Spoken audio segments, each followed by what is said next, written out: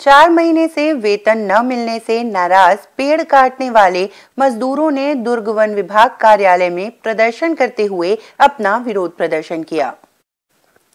दुर्ग शहर में सड़क चौड़ीकरण के अंतर्गत आने वाले पेड़ काटने की ज़िम्मेदारी लगभग 25 मजदूरों को दी गई थी।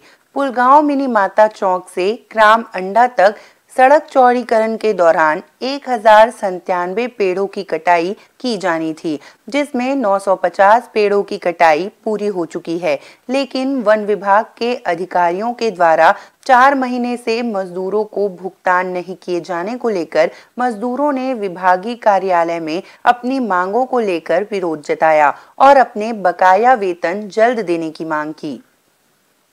पुलगांव रोड का लकड़ी कटाई 12 किलोमीटर का था, जिस कटाई को एक हज़ार संतानवे पेड़ था। एक हज़ार संतानवे में सारे पेड़ काट दिए गए 147 पेड़ बचे हैं।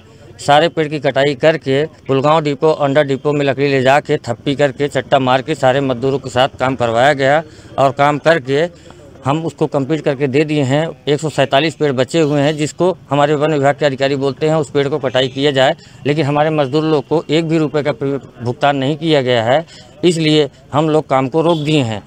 और हमारा पेमेंट कई बार हम रेंजर के पास गए, लेकिन हमारा पेमेंट अभी तक नहीं किया गया। हम लोग उससे बहुत परेशान हैं और आगे का भी काम हम लोग को बोलते हैं कि हम दूसरे से करवा रहे हैं। हमको पेमेंट नहीं दिया गया है तो दूसरे से कैसे करवाएँगे? हमको पहले हमारा पेमेंट कर दिया जाए, किसी से भी काम करवाए विभाग, हमको कोई भी दिक्कत या परेशानी नहीं है। यही हम विभाग से चाहते हैं। जो अंडा से मिनी माता चौक है, उसमें पीडब्ल्यूडी द्वारा जो हमारा स्टैंडर्ड नॉर्म्स है, उस राशि हस्तांतरित किया गया था और वहाँ पे वृक्ष की कटाई चल रही है।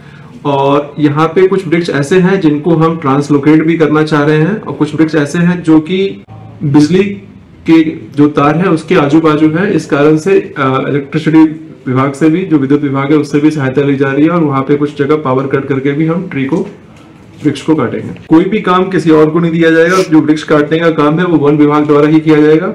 बहरहाल, कुछ वहाँ पे छत्तीस सैंतीस वृक्ष ऐसे हैं जो कि काफ़ी पुराने हैं, जो कि पीपल के वृक्ष हैं, जिसको हम लोग चाह रहे हैं कि उसको ना काटें और उसको ट्रांसलोकेट कर दिया जाए। तो ट्रांसलोकेशन करने के लिए हम लोग कुछ ही दिनों में टेंडर फ्लोट करेंगे और इसमें जो पात्र आएँगे, वो उनको ट्रांसलोकेशन का काम दिया जाएगा। इस संबंध में मैं एक जाँच कमेटी बैठा दूँगा, इसमें जाँच की जाएगी। अगर इसमें ऐसा कुछ है कि पेमेंट नहीं हुआ है तो उसमें कार्रवाई की जाएगी और सब जो भी मजदूर काम किए हैं, उनका पेमेंट किया जाएगा। न्यू वीडियोस की अपडेट पाने के लिए सब्सक्राइब करें इंडियन न्यूज़ को और बेल आइकन को दबाएँ।